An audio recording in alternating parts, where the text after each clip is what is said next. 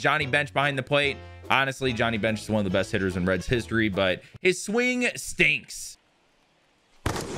Johnny Bench has a tremendous swing, and I love him greatly. And you cannot tell me otherwise. I would never slander Johnny Bench's swing, ever.